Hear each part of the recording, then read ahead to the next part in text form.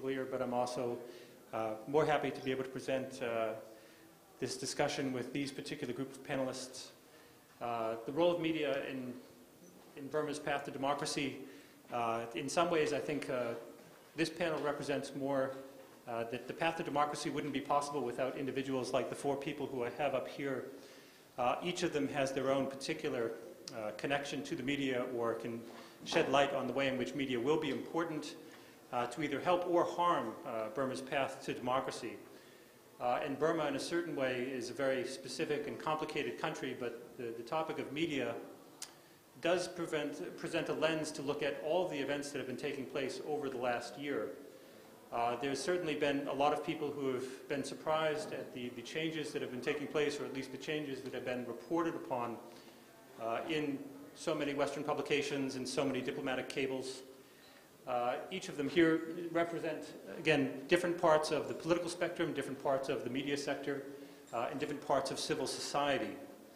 Uh, and when we look at the media, again, you can see certain things that, that are uh, kind of representative of the type of managed transition that's been happening in Burma. Uh, it's been incremental. It's not a major reform that's happened all at once. Uh, there have been ongoing promises about media reform, but at the same time, very few details and specifics that have been provided. Uh, and there's also been a use of the media for a particular type of targeted reconciliation uh, in the sense that they would try and get people involved in the process of reconciling with the government after the 2010 elections very selectively. Obviously, Aung San Suu Kyi representing the major figure that they tried to, to bring into the process, but also uh, using Aung Min, the railway minister, and now uh, one of the more powerful people in the cabinet uh, to try and do peace initiatives, trying to get some people back from cross-border organizations, one of whom uh, is here on the panel. Uh, and so even though I think the discussion here will branch out into things that are a little bit beyond just uh, the media and really look at kind of what is happening in Burma right now and what stage is it at towards a transition to democracy, uh, I would just like to, to thank everyone here and uh, also give everyone a chance to kind of represent what their particular connection is to it. Uh, just to give a very brief introduction, since you have information about all the panelists, uh, each panelist will have you know, five, seven minutes to kind of present their particular uh, response to the, the major questions about media and also the way in which their work connects to it. Uh, the order will be first uh, Mr. Ohn Kyaing, who is uh, formerly an NLD spokesperson. He's actually been elected to Parliament twice, first time in 1990, uh, once again in the by-election in 2012. Uh, but he's also you know, someone who's a very experienced journalist, a former political prisoner, uh, and again, through the different types of work he's done, has contributed to the path of democracy, uh, and he'll be the first speaker. Uh, the second speaker will be Mr. Ko Gyi, uh, who is one of the 88 student generation leaders and who spent over 18 years in prison for his activism to try and push Burma towards a democratic outcome. Uh, he was imprisoned for a long time for his role in the 88, uh, 8888 uprising, uh, came out again in 2005, and then around the Saffron Revolution immediately threw himself into it again. Uh, was sentenced to 65 years in prison, but fortunately was released uh, in January of 2012. Uh, though with conditions, which you know again could be part of the, the Q&A because it is a, an interesting thing to make sure you look at how people are released rather than just they were released at all. Uh, the third speaker will be Mr. Zaw, uh, who represents the, the Irrawaddy, uh, which is one of the main publications uh, that was published for a long time in exile, uh, making sure that the world had an idea of what was really going on in the country. because obviously Burma, it's in Southeast Asia, not all of the world was paying attention. I'm an American, and for a long time people used to say that America had the liberty of doing the right thing in Burma because people didn't know where it was. the Irrawaddy is one of the publications that helped make sure uh, people could pay attention to what was going on. Uh, and so he'll be speaking third. And then last we have uh, Kyaw Thu. He uh, is the director of Paung Ku, which is a civil society strengthening initiative inside. Uh, and especially at the current time, as people start to think that, okay, maybe this opening is for real in comparison to some of the openings that took place in the 90s or some of the, the openness that started to show in around 2003 and then was cracked down so brutally in 2007 after the Saffron Revolution. He'll speak a little bit more about the role that civil society and civic initiatives are able to play.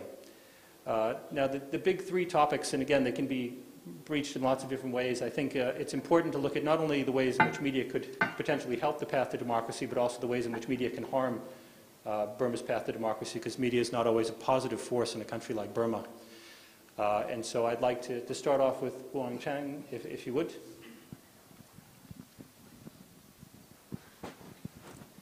Ladies and gentlemen, I would like to take this opportunity to express my sincere thanks for allowing me to state on the media and democracy in Myanmar, Burma. My special thanks also go to the organizers of the event and your organization, Peoples in Need. First of all, allow me to briefly introduce myself. My name is Ohn Kyaing. I graduated from the World Press Institute, WPI, Journalism School, Macalester College, Twin Cities, Minnesota, USA. I work as an editor of GMO newspaper, Hanthawaddy newspaper, and Town newspaper in the years of 1960 and 1980s. I was dismissed from the job for my active role in Quarter 8 General Strike. I became one of the Central Committee member of NLD led by Daw Aung San Suu Kyi. I was elected from our party at the Mandalay Southeast constituency in 1990 multi-party democracy election. I was elected again in the by-election of 2012 at Maha constituency, Mandalay. I used to be in prison for more than 16 years for being a top leader of National League for Democracy, which is powerhouse of democracy movements. Currently, I am working as head of information department of NLD and a spokesperson for both NLD and Daw Aung San Suu Kyi, our leader and my hero.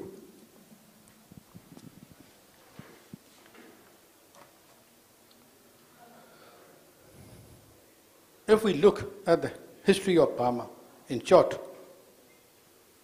we can learn many lessons about the relationship between media and democracy. Burma, Myanmar regained, let's start our independence. Burma, Myanmar regained its independence in 1948.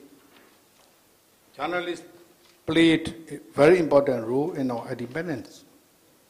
Our national hero, Ko San had worked as an chief editor of magazine issued by Student Union of Rangoon University.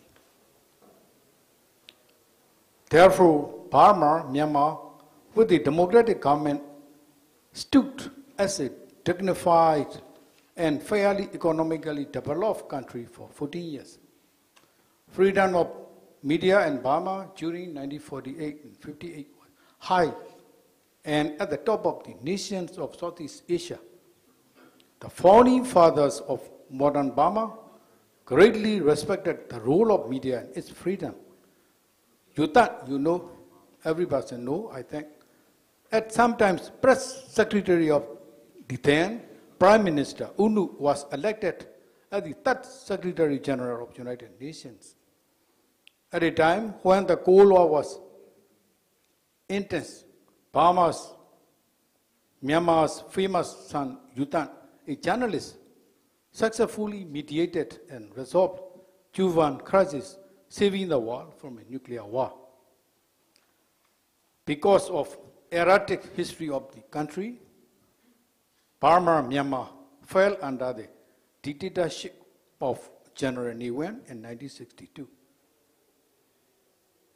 General Ne Win could not live in the light of democracy. He cracked down all those who opposed the dictatorship. Dictator General Ne Win made systematic plans to shut down free media to sustain his power. After free private newspapers and publications were shut down in 1969, Burma, Myanmar fell into the dark age.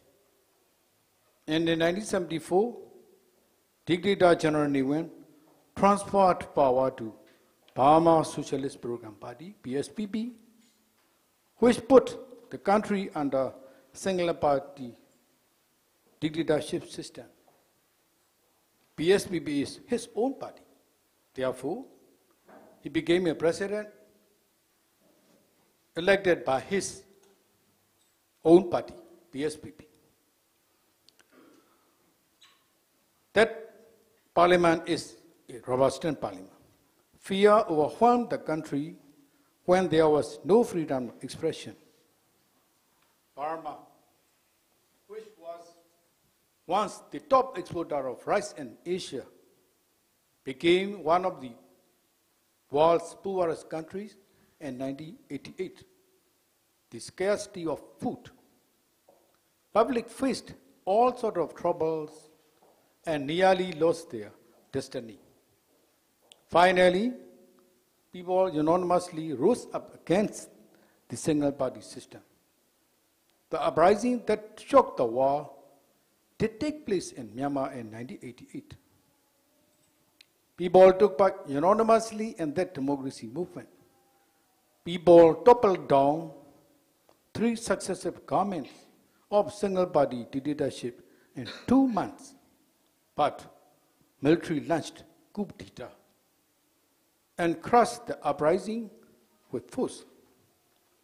The world did not know the truth because media had been already shut down. Knowing that people would not accept the single party system again, military dictator uh, promised the country that multi-party democratic system would be set up and political parties would be allowed to form.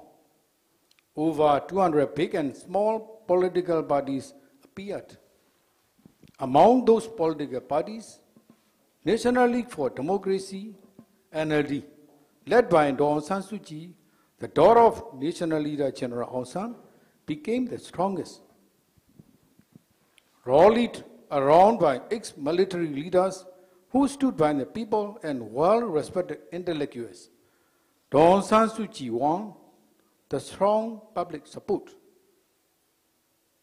Most significantly, as in her father's time, ethnic nationals admired and supported her. People considered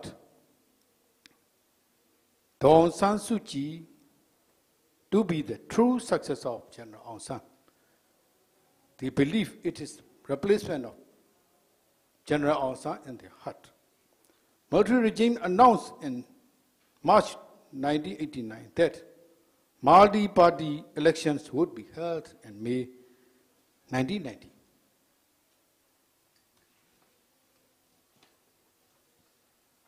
Then it planned to crack down the NLD.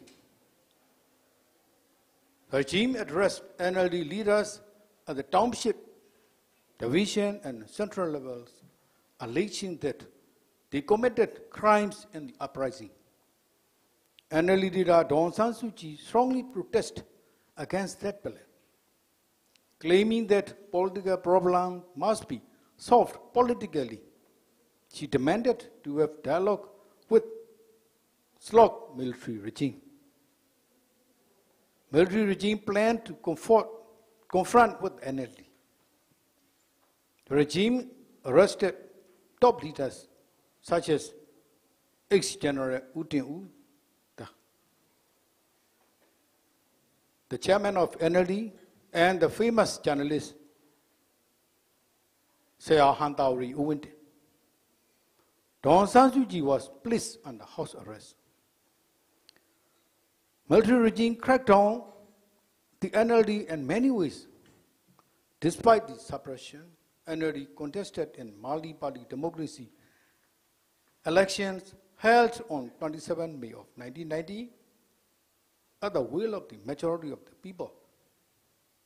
I would say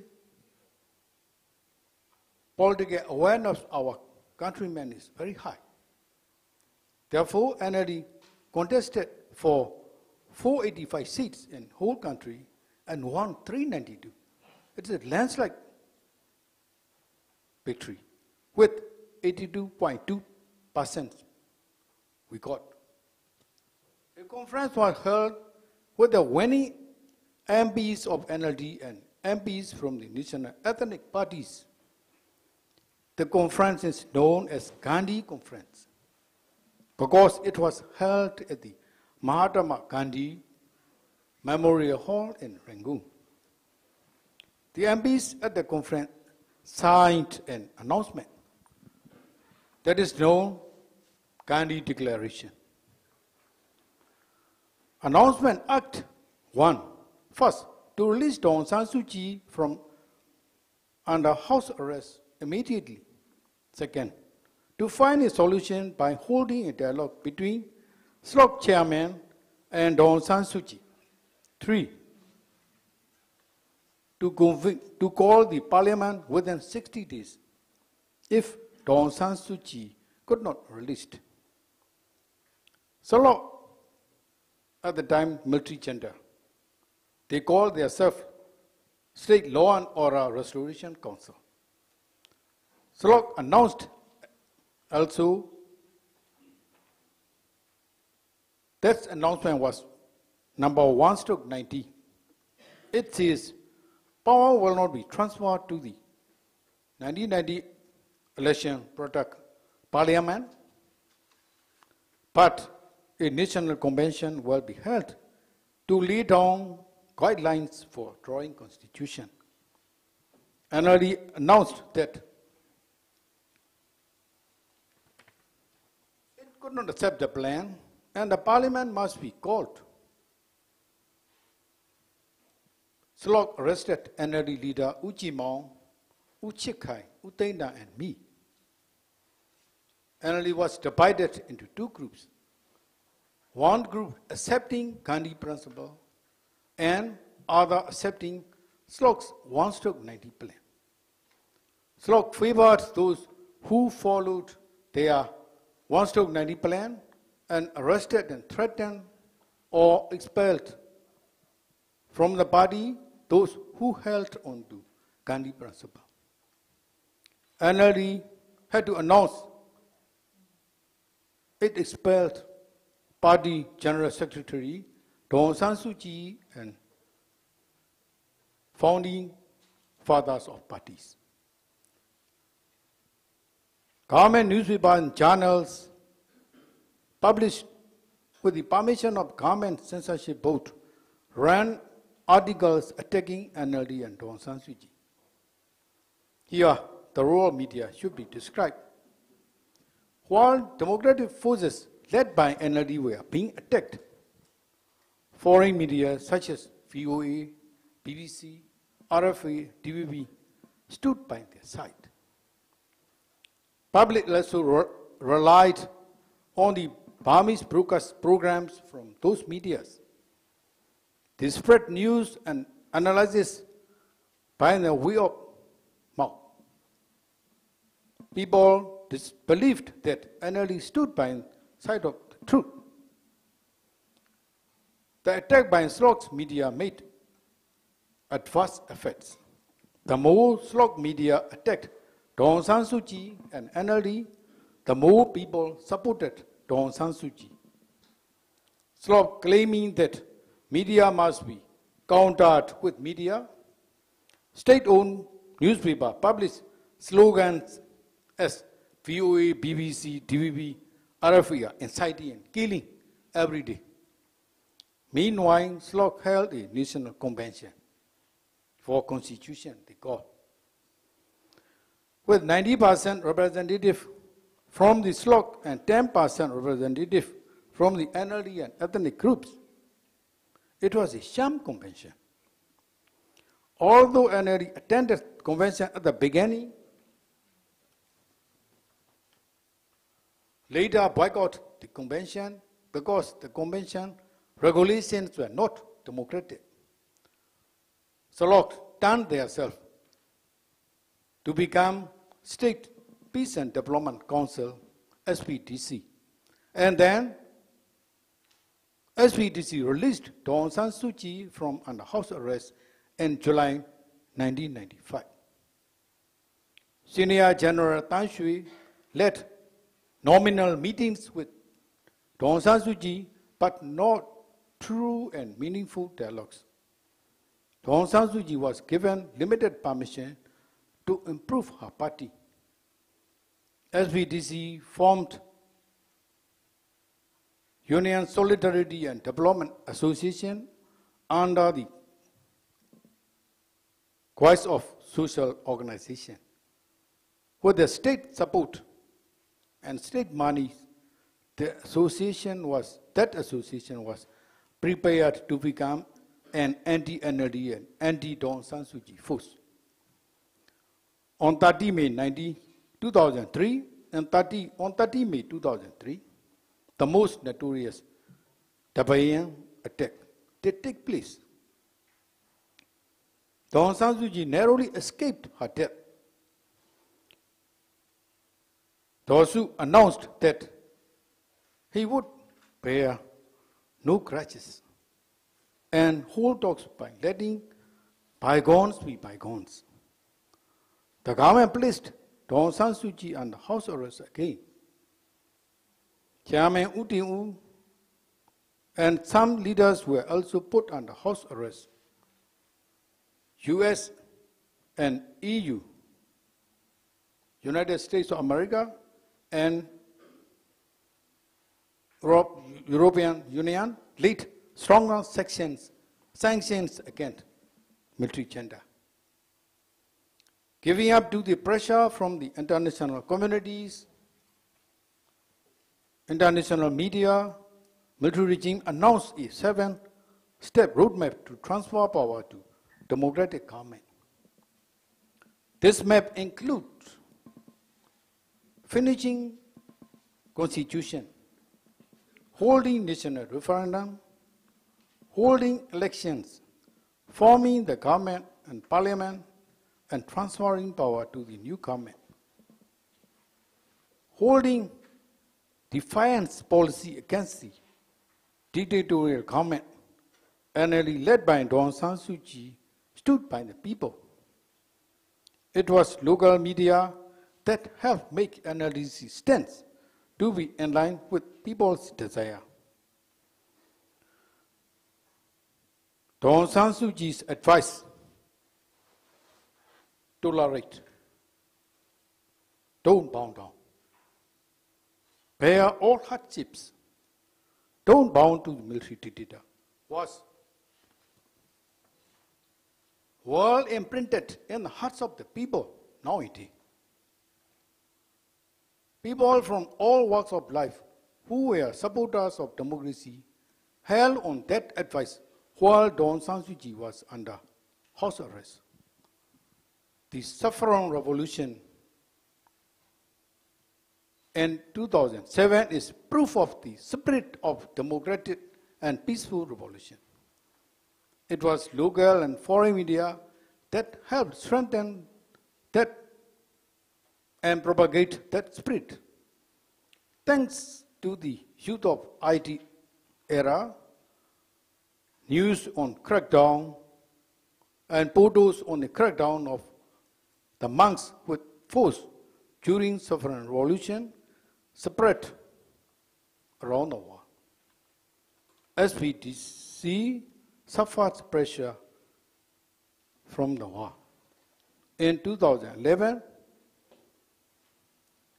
they have to change our political situation. Political changes happen in Myanmar now. Those changes now reach an irreversible level. NLD leader Aung San Suu Kyi is now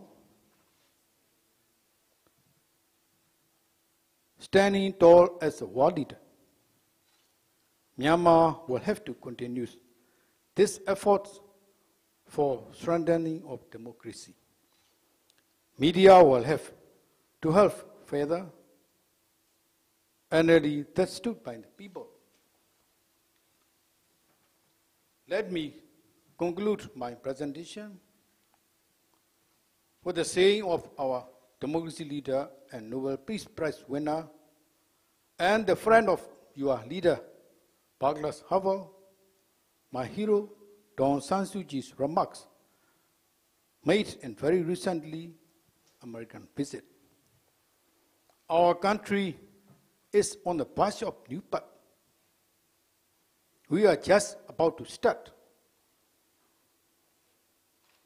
But we are not along that way yet. And because we are just to just at the beginning, this is delicate and difficult time. And our leader asked both sides, including nationalities of our country, to cultivate the culture of finding peaceful settlements by negotiation. Thank you all.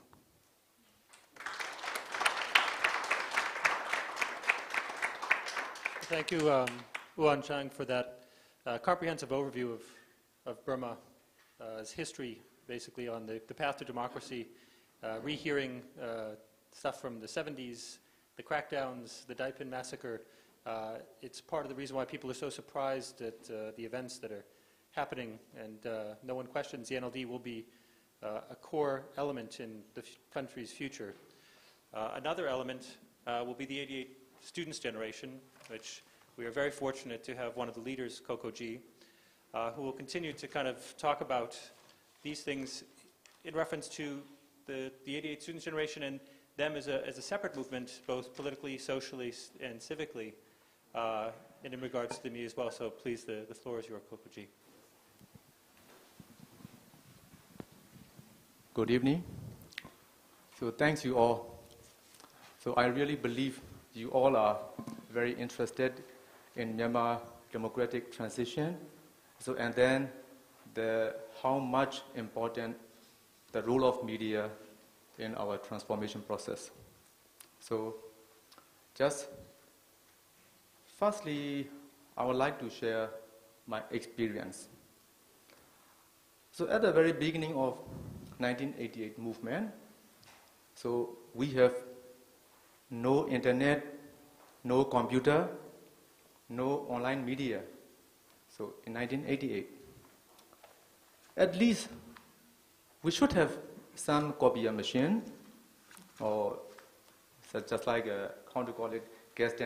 Some of the younger generation so can imagine a gas. So, but at least we have no gas. So I just bring one thing uh, I would like to show you how to make a media or how to make our communication with our people. Just, I want to show you. This is my press. this is my printing machine. This is my copier. That's enough for our 88 generation student. So, in our Yangon University campus. So very early, 1988. So our demonstration broke out in the university campus. So and then some of my friends were killed in action because of the riot police.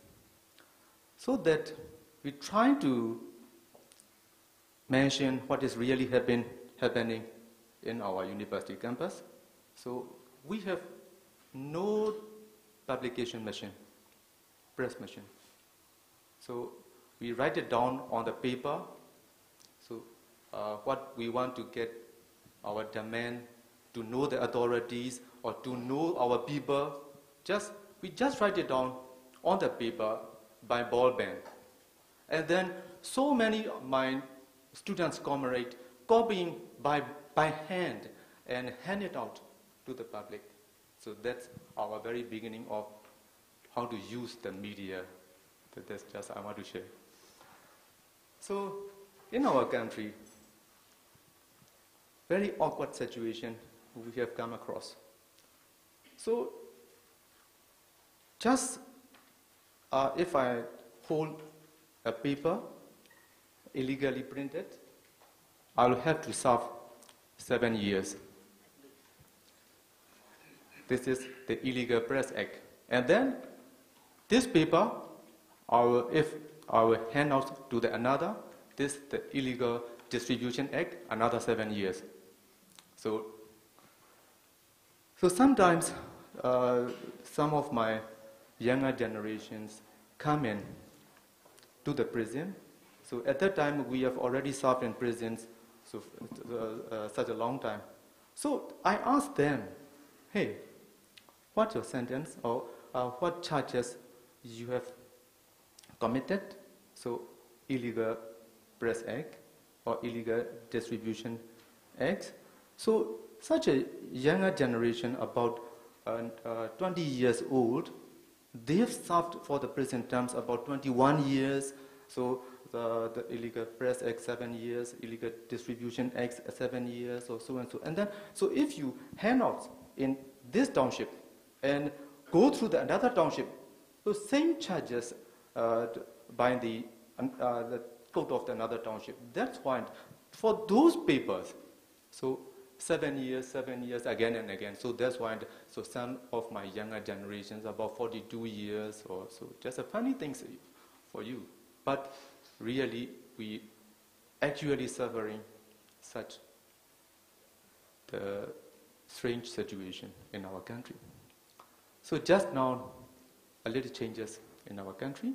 So that's why, so, so our, not only the, our 88 generation students.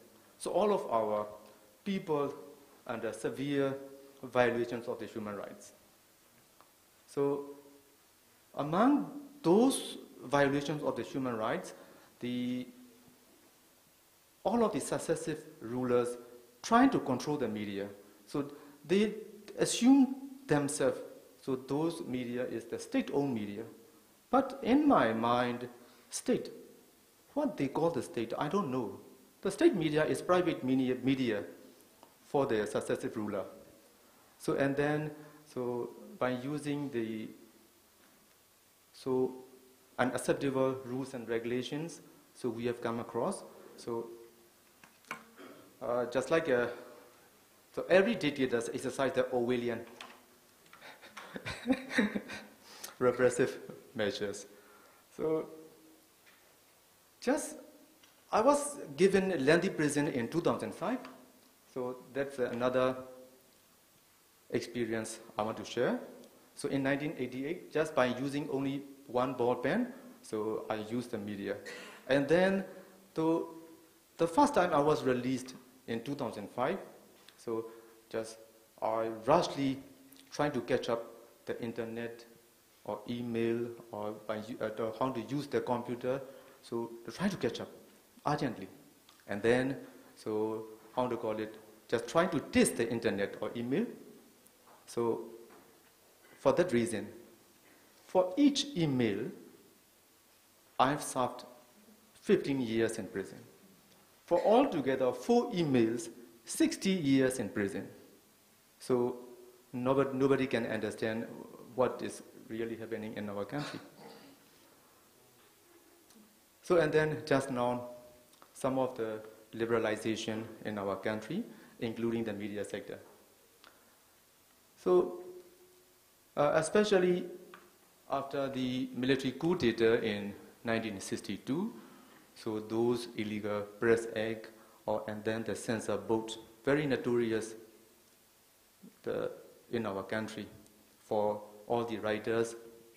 So, just um, as soon as I have arrived, break, very amazing. Too shock for me. So each and every so many corners of the roads, the statute of the writers, authors.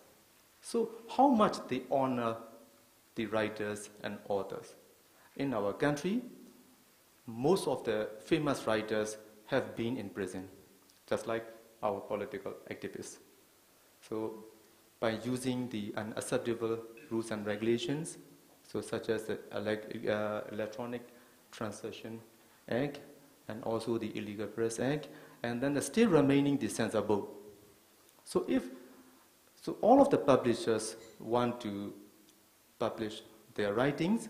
To firstly try to, uh, they will have to submit to the censor board, and if those uh, violators that violate the rules and regulations, uh, at least they will have to be banned their publication license or maximum to be imprisonment.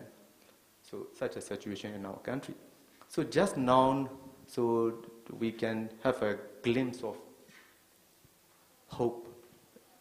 So 2011, the the President U Thein Sein just uh, tried to liberalize so a little by a little. So among them, the media liberalization also. But the just now, so no need to submit to the censor board. So we can issue some of the um, so many magazines or journals in our. At the same time, so just very recently issued the 16 points guidelines.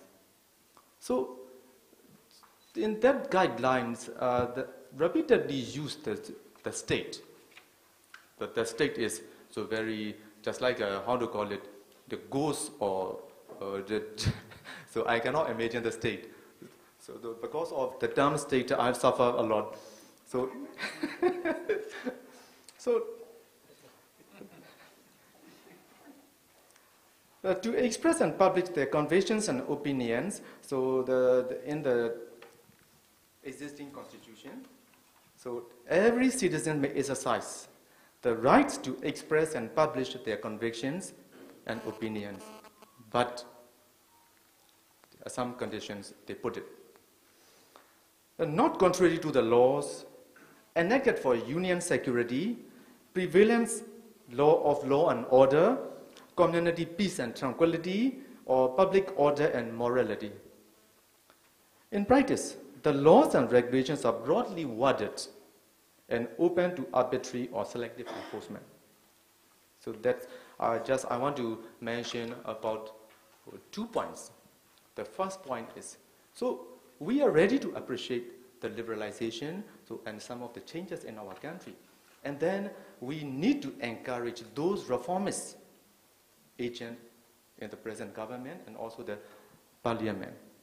But at the same time, we need to be cautious. Those changes are not yet institutionalized. So that's why so we need to focus on how to make it institutionalized in our country. So just now the media liberalization or some other changes are initiated by the executive body. But to make a sustainable changes or to preserve those changes, so we need to turn our uh, our attention to the legislative body. So those changes must be legalized or, or enacted by the legislative body. That's quite important. And then at the, at the same time, we are very used to uh, contact or de- uh, touch with the media. So that's some of my views and opinions to the media. So we will have to notice also. So for a long time, the successive rulers used the media as a tool to oppress their own people. And they try to control all the media. So we, other dissidents, have no chance to handle or no chance to use the media at the same time. So that's why we just only depend on the exile media. So that's so how to call it? To make a national reconciliation, we will have to uh, diminish the us them attitude. But our concept, from the point of the authorities, the media is as a tool to make a propaganda. And also, so in our democratic edifice, so we view the media so to counter the state media. But for the time being, very complicated, very subtle situation. So that's why we will have to, uh, how to deal the media so how to change our attitude to the media? So uh, in my mind, if our country has a full-fledged democracy, so media has to be impartial, professional. So they will have to take responsibility themselves, whatever they express in their papers or online or so and so. But just now, the problem is the just a little opening in our country. So we need to make a capacity buildings for our media sector and also to change the attitude of the uh, present existing government body. So that's my view. So uh, if I will tell you about my experience about the 24 years democratization movement, so, so uh, maybe so long. So that's just, I want to finish my thoughts. So that's the, the role of the media is very important, is the very accurate barometers, how much implement the democracy in the transition process. So we need to focus on the, the to develop the role of the media and also the institutionalize the changes of the, our country and also the, we must be professional. We must be uh, the impartial. So to express what is really happening, the facts, we'll have to focus on. So that's all. The role of the media is, so how much important, so I don't want to tell you so much, so everybody knows about the role of media. So the, the role of media is still important to, to go ahead our transition process. Thank you.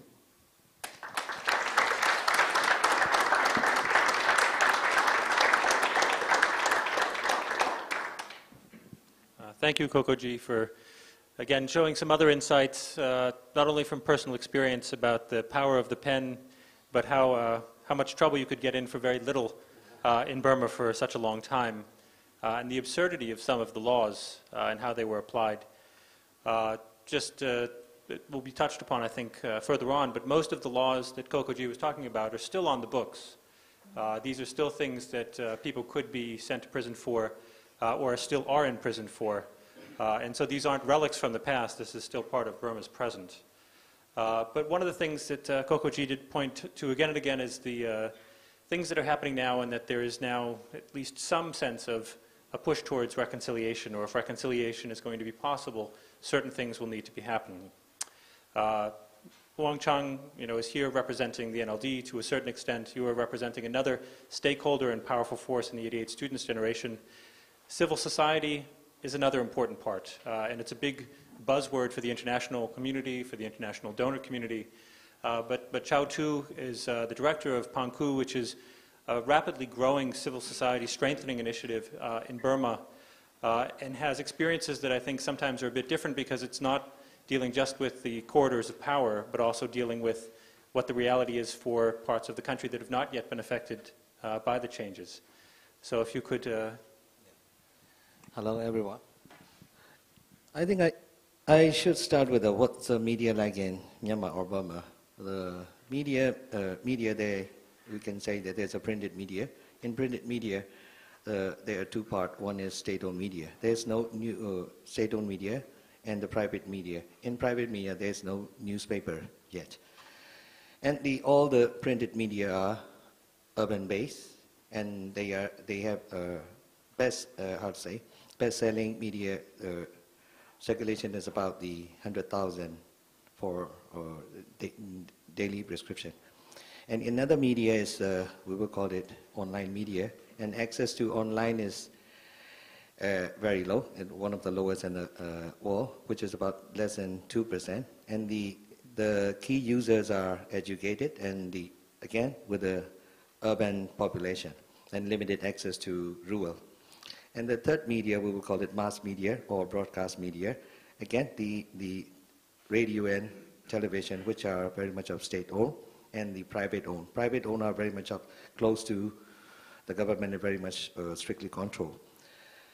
And uh, Myanmar is a country with uh, highest in corruption, highest in human rights abuse, and lowest in access, uh, uh, lowest in access to that mobile and other IT, IT facilities. So and uh, and the role of media, though the very the limitation is very high, the role of media in current reform is quite uh, interesting and vi- uh, vibrant and moving. And civil society and the uh, rural and urban civil society connectedness is more visible during the Nargis. I think uh, some of you may heard about it. Over 100,000 people were killed by the uh, strong uh, cyclone. In that case, the people, uh, the civil society group from across the country go to that the rural area. That is another way for the rural-urban connection and connectedness of a civil society actors. And the political activism of the media, printed media, started in the, it's very much related to government uh, supported 2010 election. In that case, government want to see their election successful and legitimate, so they allow the private media to start informed about the political issue. And in that case, uh, in the civil society wisely use that spaces to use it, the political space of our private media and start uh, for more engagement, more involvement and engagement in the political process. And uh, what I would like to, how to say, share with my experiences is the, and the interesting is, interesting thing is the daily income of a citizen is about the two dollars, and the prices of a printed media, a daily newspaper is about half a dollar. So you can imagine the access to the uh, of a rural population to get these. But still, the urban-based uh, political activism are still, uh, how to say, influential in shaping the country politics. So what civil society do to get back the access to that and the influence of media? The civil society group uh, provided the rural population to mobile phone, and they uh, form a the internet ex, uh, internet center, or even they even they don't afford to run an internet center, they provide laptops and mobile phone. In that way, the access to the online and other facilities are growing. And interesting, another thing is that, yes, as, as I mentioned, the uh, access to printed media by the rural population is very limited, so they use a photocopy machine to print out their, to share the information that relevant to the local community. So I would share one uh, example of how the civil society group and media work hand in hand, in which is a, uh, one of the, that contribute to one of the turning point in the country. Most of the resources are located in the ethnic area, and this is one of the reasons of a, a, a chronic conflict uh, between the majority Burman and the, the ethnic, ethnic community. In one part, in Kachin ethnic area, there is a, previous regime, regime uh, agreed to agree with the Chinese company to construct a big mega scale hydropower dam in the area. So it was, it used to be, because the regime and the Chinese government uh, agreed to construct, it was, it used to be a very sensitive issue. The first responder of that case was Kachin population. They responded and they were cracked down severely and se seriously. And the artists and media group, what they did is they organized a art show, which is, uh, they didn't uh, mention about the name of our place. They, they, the first, very first art show they organized was Arts Cry Save Soil. What they want to, the, the, the message is about these soils are, the quality of soils are eroded and spoiled, so, and the arts, uh, artists cannot stay quiet, so they uh, send out the message through media. And again, the, it is followed by Arts of Watershed. It is about watershed. So in that case, they bring, the, they create the space where people can discuss about the sensitive issue and media relay that message to policymaker and the uh, powerful and scientific arguments happen. And finally, that, that was again the, one of our key decision maker from the government. They responded harshly to the uh, uh, responses of a civil society, and that sparked the debate. And finally, the pre new president saying he decided to cancel the Myitsone Dam, and after that, it, it was uh, wave of changes coming out from that. Another case, in, in uh, one area that share with uh, Thailand, there's, the area is called Dawei Deep Sea Port, Italian, Thai, group, they have invested about, they have a, development plan about 8 billion worth of the deep sea port industrial zone. The information to that project was not accessible to ordinary people or any, any business people. And they, Thai, Italian Thai company have planned to build up a 4,000 megawatt coal power plant, which is very, how to say, environmentally and socially, economically quite uh, controversial or, or project. So what we, so we mean civil society did is the, the media visited the uh, coal power plant in Thailand and they reported back to the population inside. This is a, this is a, how to say, issue related to coal power plant. And the local community learned about that and they finally staged a campaign and the finally government decided to cancel the, that 4,000 megawatt. This is an example of how media and civil society work hand in hand that issue. And as I mentioned, in the, after 2010, the political activism of a civil society or political engagement of a civil society is growing. In previous region, they, they, how to say, they pretend that they are not politically involved. But all the actors of civil society are very much social-minded and politically minded, politically oriented. Now they use the spaces to better involve in that. So now the current, how to say, key issue, uh, now uh, Burma is a country like you uh, in a reform when you like uh, open a dustbin, every uh, smell are coming out. So every everywhere issues are coming out. So uh, the issues are a kind of a way of a civil society, and the role of a media is they carry and delay that message to the respective uh, actors. It can be a government, it can be a opposition, it can be a legislation, or the, the still uh, judiciary system is still a, uh, not a vibrant one, but still, uh, and also to the international community. This is how the media and civil society work in hand. So what other opportunity in the, how to say, what I, what I mentioned what uh, some limitation and how civil society, what is the, what are the opportunity in improving that limitation? Burma will be the focal country for communication for, or in for 2013 for ASEAN. That the government will definitely improve the internet access and the access to mobile. That can civil society can take advantage of it. And Burma will host 20, uh, the ASEAN chair in 2014 is another opportunity. And the 2015, the after and other things coming up. So it's a kind of a opportunity. And in 1950, in 50 and 60 and 70, in, in Burma has a history of uh, enjoy the freedom of media, where the product of how to say strong, the narratives are still have a high influence for today's democratic movement.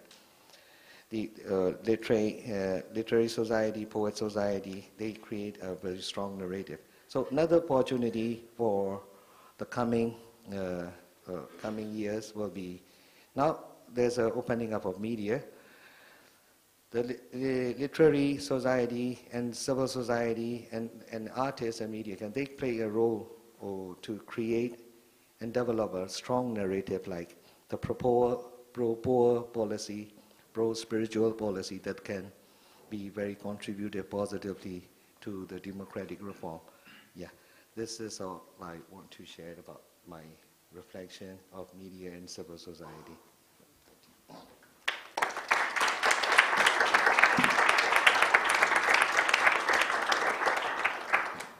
Uh, thank you very much, Kyaw Thu. Uh, I think, it, again, there's a number of things, obviously, that could be talked about from the comments you made about uh, the Myitsone Dam project and the government uh, seeming to starting to uh, recognize public opinion or the pressure that the public can bring to bear on the government, uh, amongst a number of other things. but I want to give the floor now to, to Aung Zaw, so that he can talk about the, the role of the Irrawaddy and the work that he's done as a journalist cross-border and also the, the meaning that it has for people inside the country, both uh, over the last 20 plus years uh, and today as things are starting to change? Uh, well, thanks. Uh, uh, let me share great news. Burma is going through the transition. And in 24 years, I went back to my hometown, Yangon, for the first time this year. This itself is demonstrate that it is changes taking place in our country. But also we also need, after I hear that I heard the three people speaking, that we need a tone of caution or change taking place in our country. Because transition can be stalled, transition can be failed, or transition maybe have a abortion where we couldn't go anywhere, if not reverse. So I think we all should have a very, I think, intelligent uh, uh, monitoring system somehow to look through, not to get too excited, but to pay more attention to what is taking place and the need of this transi- transition in our country. And I want to share my finding when I go back to my country four times. First visit, I was given a five days visa, and second second trip, I got a seven days visa, bit of improvement. And at third visit, I got ten days visa, and at fourth visit, they give me a uh, two weeks visa. So I think it's, it's, it's, it's coming slowly. If you look at it, if you look at it, and uh, you can really see that uh, measurement of uh, the change taking place in our country. So don't get too excited, and then don't, don't be gold rush, and and then I will go along with you, but slowly, slowly, okay? And uh, I think I think I find that uh, the, the media last 24 years has been embedded with the opposition, and there has been a comfort zone between opposition, uh, NLD or Daw Aung San Suu Kyi or, or 88 or, or other activists and the media. There has been a comfort zone. But I think, I noticed that that comfort zone has been broken up, particularly this year. Why? Because political opening in our country. If you look at the two very important issues taking place in this year, one in fighting in Kachin states, the other one is in Rohingya issue. The international press and AR itself and other media are very critical and very vocal towards Aung San Suu Kyi and, uh, and other activists who've been very silent on this issue. So I think this comfort zone is no longer exist. I think the media inside and outside the country be more vibrant and much more stronger and will, should have played a more independent role, I think. And a position member should respect the role of the media. Doesn't matter whether it is transition period or full-fledged democracy, or it wouldn't matter. I think that has to be acknowledged. Second, the government, watch out, I would say. They're very savvy. If you look at the President Sein uh, press conference held last week, he held two hours press conference with the local press. He was very comfortable. He was very honest. He was very candid. He, he accept, even not even, I, I'm talking to this morning to my, my, my colleague my, from America, I was talking to her that uh, even in the State Department or in White House, you have to have a, a, you know, precondition or some kind of question being, being proposed, what question you're going to ask. Then, uh, then the president will come to the podium and, you know, point the finger and then answer the question. And President Thein Sein give you full two hours and ask whatever question you want to ask. He answered. Very sophisticated, very savvy. I think the position camp or, or other sympathizer camp is falling apart, is my observation. And the government is very, very, very clever. And always, wherever I go, I heard who are giving advice to them. Because it is really a turning point. Burma is facing watershed. Because, because they are the same people that, who refuse to listen. But they are the same people who took out their uniform and wear longyi like U Ohn Kyaing. And uh, I don't have any other example to show, but uh, you know, you know that uh, I think same people, but they are listening, which is a very good, very good thing. I think it's very encouraging. But the, the, I, my point is, they're very, very, very, very clever. So uh, the dissident media, or even we were lab- labeled as a dissident media in the past, we are now open an office in Yangon. Our strategy as I always said, it's one foot in and a one foot out strategy. Why? If you may ask, because security reason, we don't know. We're going to burn the bridge. We don't know what will happen. Our benchmark will be 2015. 2015. You know how transparent the election is going to be. Who is going to win? Will there be cheat again? Are they going to fix the outcome like 2010? So th- these are the issues that we, lo- we look at that we set our benchmark very high before you go into fully invest your resources and we don't want to see ourselves sitting in prison like know, 20 years, 30 years again. So I think we are very, very cautious about it. But at the same time, we're very encouraged of this opening in the country. And uh, the civil society groups, the opposition, government itself, the minister, more and more accessible to uh, the information or interviews, you just name it. But underneath, there are a lot of story being untold. And then what happened in Kachin states, in ethnic areas, the human rights violation, the rape uh, uh, against a woman, and the corruption, scandals. There are a lot of uh, Burma-North Korea connection, and Burma relationship with China. There are a lot of stories that, that local media still cannot able to report or don't even know how to report it because there has been very it's a dangerous term because of uh, self-censorship and uh, it's a prevailing attitude that uh, people, uh, reporters, they don't, dare to write the real stories inside the country.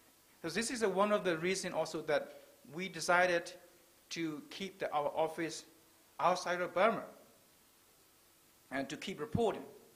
And also, uh, Dr. Jordu was very, he was very elaborated and very eloquent about uh, civil society and media, the role of the media. I think then one thing is uh, we're missing is also ethnic media.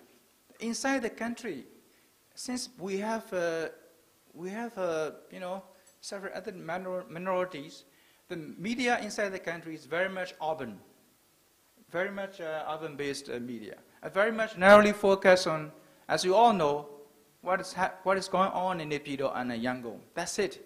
Beyond that, very there are very little story uh, report in the local media or outside.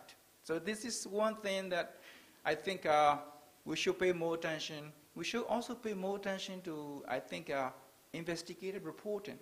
So I think there's, there's an international community which can play a role to assist, to empower the local young reporters and video journalists, citizen journalists, whatever you call it, that there are a lot of stories to be told. What happened in Kachin State? What happened in Kachin State? Poverty and corruption cases. And governments claiming that they have no money. But where are the gas money? Where are the 3 billion, 4 billions? How they build the Naypyidaw? Where the money came, coming from? You know, these are the stories that need to be need to be told. I think told uh, inside and outside audience. I think international community should be, I think, uh, more vigilant and more careful because of this morning in a, one panel I, I mentioned that it was very interesting to see the international community or international media, Western media was very uh, hardline, say that until until two years ago. Whenever I talk about Than Shwe or and, you know what happened in ethnic areas, but suddenly, they have become very tame. They become very soft, and they change the tune and tone completely. Doesn't mean that uh, Burma has free. Burma isn't, isn't free yet to me. It's, Burma is maybe partially free. Or we have, we have to wait for another decade to see the Burma is going to emerge like a, a truly a democratic nation. And uh, so I think these, these are the issues that I think uh, uh, we should look into it. And so long list of things to do. I will be very happy to open your, your question, and, and I think I will stop here. Otherwise, I can keep talking, talking, I won't finish. Thank you very much.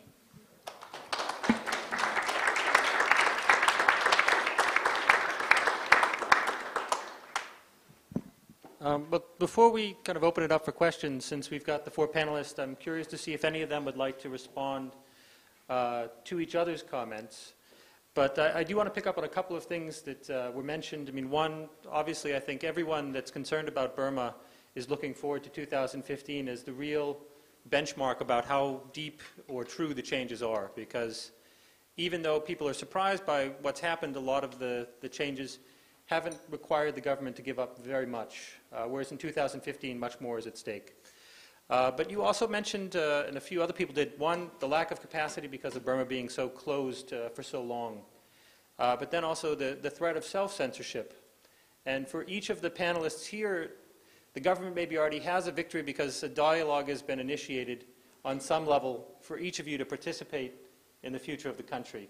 So maybe each of you can speak a little bit to the, the danger of self-censorship in a country like Burma. Uh, because after the history, it, it's something that each of you has to maybe contend with in, in your own particular way. And after that, uh, I would open it up to the floor. Whoever would like to start, it's free.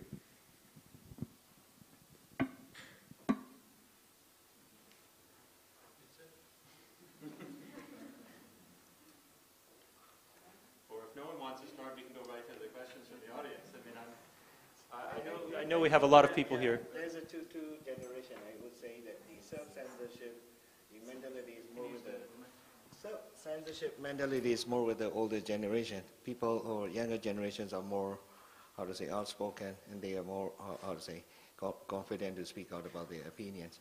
So, and the current printed media journalists are younger generation. I think the, uh, and they are also uh, quite uh, challenge the old uh, trend of self-censorship of old, old, older generation about it. So I think the the trend uh, trend is changing from po- positive and the uh, online media. Yes, as, as I mentioned, the access to online media very limited. The most of the how to say age group access to are educated, and the, the younger group. So there is no censorship in that the about the news and they are sharing their opinion. So I think it's on uh, towards a positive direction. Yeah. Anyone else like to respond, or would you like to do questions from the audience? You could talk about censorship, Well, by all means. think. Or censorship is, you know, it's, it's, it's, I think even though censorship board has been, has been, uh, uh, stopped activating, I would say. It's not, hasn't been abo- abolished. They stay there. You have to, you have to go through, you still have to submit, uh, uh, you know, post materials that uh, publication do to, to them. And, uh, and last week, one of the very famous editorial cartoonists, uh, Harn Lay, he used to be our editorial cartoonist.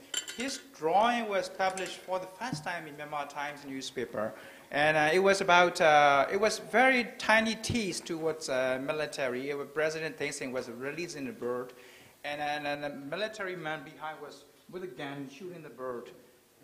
You know, as uh, you know, it's uh, so which is shooting down the piece. Uh, you know how to call it in English phrase. Anyway, then so next day you could see that uh, the Myawaddy, the military-owned newspaper, came out with this very stern warning towards uh, this uh, cartoon. They're saying that this is very insensitive, and uh, but I see that it was very condescending and very blatant, blatant interference towards uh, ongoing fragile transition process. We wouldn't accept such an interference from the military because, because we always see this military as a very patronizing, very condescending, that who think they are the guardians of the nation, who knows everything, who want to fix the country, which is not true. They have mismanaged, they have corrupted, they have pickpocketed, they have st- steal everything and the, one of the richest country become a bankrupt because not because of me or you or sitting here. It's because of the military. I, I think this, this is the thing that they, they, they couldn't really stand it.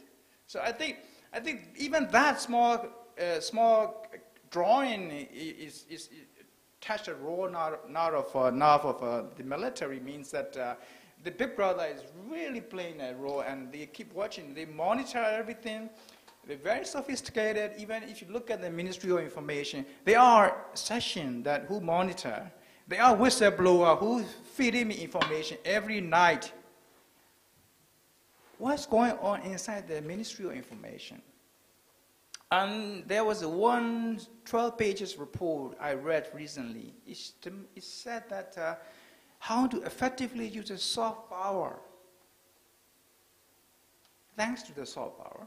And uh, they, they know how to use the soft power. They no longer come to reprimand you or, you know, but this is how they're trying to, trying to send a message to inside and outside. The military stay there. We don't know how the military is going to act in, in, in future politics. And even now, they have a 25% stake in the parliament. So I think, I think the censorship outside of Burma, the Western press and the wire services say, that, oh, no more censorship. Uh, also, you're great. Why you are keeping the office in, in Chiang Mai? Why don't you go home?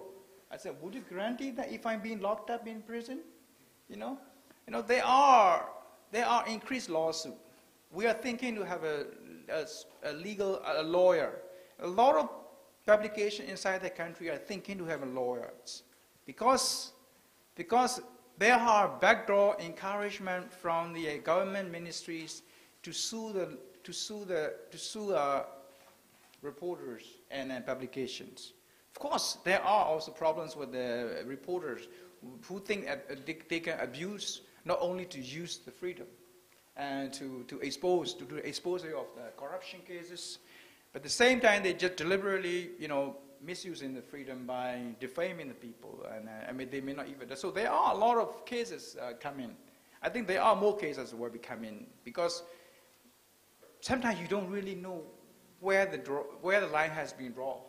And this cartoon and this warning shown again that there is a boundary, and you know where you can where you cannot go and where how far you can go. I think. Excuse me. Uh, nowadays, the role of media or the situation of media in Burma is very complicated, I would like to say.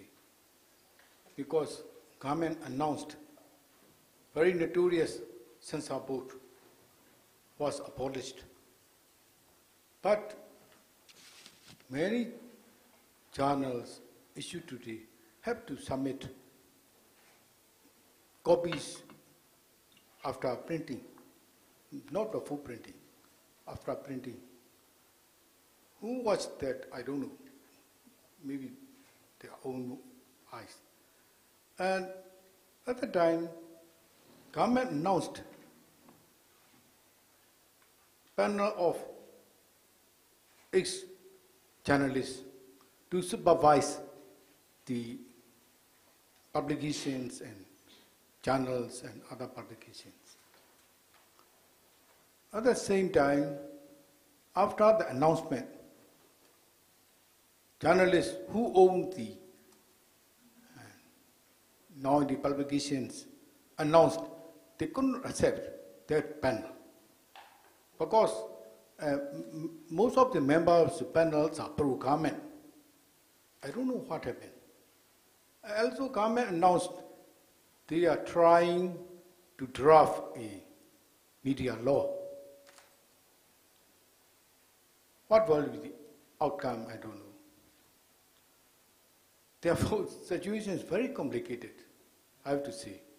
Uh, and the modern media, such as Twitter, something, uh, YouTube, GTalk, Facebook, now spread in, are spreading in Burma, but mostly in urban areas. And it is second largest party in parliament now. But even NLD can't afford to provide computer computer trainings in our state and division organizing committee headquarters. We can't afford. Very, very expensive in Burma. It's very limited. Even a mobile phone less expensive is worth $300 in Burma. Therefore, modern media now it is very limited in Burma. Therefore, we have to try uh, to use the freedom of press in Burma uh, starting from now. That I have to say. Thank you. Um, Ko Ko Gyi, if I could just, uh, we have about 10 minutes for questions because uh, Jakub Klepal came down just as a reminder to, to make sure that people had time to get to the closing ceremony. Uh, so I would like to have time for a few questions from the audience. Uh, so all I can ask is please uh, try to keep the questions very direct. Uh, and if you are addressing it to a particular panel member, please let them know. So, uh? I'm Kinley from Burma. I'm not ask you the panelists. I just add some more opinions of mine because I and my husband also published a monthly magazine in our country. So we are used to with such circumstances that the gentleman mentioned. So, but I like to clear the present situation of the, uh, our local media, I mean private media. Although they said that we have a, a little bit freedom of expression or freedom of thought, something like that. But I like to point it out that most of the media in our country, printed media and broadcasting media, including TV and radio and FM also, but mostly are owned by the former generals' family and the cronies. So it does not mean that it is the freedom of expressions we can have, but it means that although Daw Aung San Suu Kyi movements and activities and 88 generation movement we can express in our day, uh, weekly journals, it is not for the sake of our people. It is for the sake of their souls. So this is one of the points I like to mention. Thank you. Thank you, Kinlay. Uh, is there another question? Well, you can pass it to Soong. So I'm uh, Burmese exile, living outside of Burma 24 years uh, in Thailand. Uh, my comment here is that uh, the censorship, uh, self-censorship that many of you mentioned here in the panel is not only in the media, but also in terms of the, the changes which is taking place in the country. As Ko Aung Zaw mentioned that the international media stopped reporting you know, what is happening inside the country, the dark side of the, uh, the, the, stories uh, overnight. And uh, they are focusing more on the, uh, the uh, brighter side of the uh, stories in the country. And it's not only happening with the international media and the international government or the institutions or NGOs, but also it's happening inside the country you know, the, uh, the organizations, the uh, political parties, the uh, activists, uh, civil society organizations, and so on and so forth. But uh, we understand that, that there are very much limitation that they can move forward, you know, like uh, under the circumstances. But I would like to point out that, that this is also a very important point, that if you are not leading to show that, to, to shed that light to the people, people will not be following on the right path to bring about change in our country. Thank you. Uh, thank you very much. Is there another question that uh, someone would have? We have, uh, again, just a little bit of time, but obviously there's a lot of issues that have been mentioned. Uh, uh, Pavel? Uh, I have a question for uh, U Ohn Kyaing, whether he could just very briefly say how much freedom does he enjoy as a member of the existing parliament? We know it's a first parliament since the previous one had been suspended, so the first one in more than 20 years. Uh, do you have a complete immunity uh, for your parliamentary uh, speeches? Do, uh, or are there certain red lines that you're not supposed to cross? Is there pressure on you from the new leadership?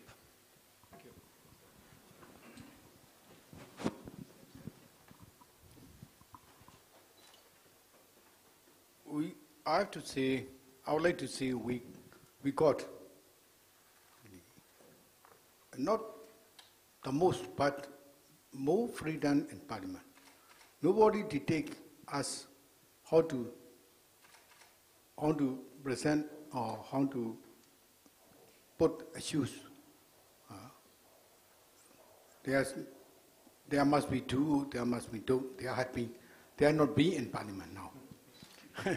but uh, we started our presence in parliament uh, at the fourth regular sessions. Up to third regular sessions, uh, the member of USDP itself, him, themselves, told us there's no mm, much uh, liberal in parliament in, in, in first uh, three sections. Uh, they also thanks us because you, you are, you are entirely in parliament, came in parliament. Uh, we also have a lot of uh, freedoms to speech, uh, some, some, some sort of that. Because I think our leader, Daw Aung San Suu Kyi, is very persuasive. It's a her, uh, excellence power. And most of the military personnel who uh, present as a uh, member of parliament, sent by CNC, Chief of Staff, uh, General Min Aung Hlaing, also very friendly to our leader. They, they show their face, and even someone uh, meet Daw Aung San Suu Kyi and say their opinions very openly. Therefore, I think we, we have some freedoms in Parliament. Uh, so we have time for one more question, uh, if someone would like to ask, ask one. Uh, Igor?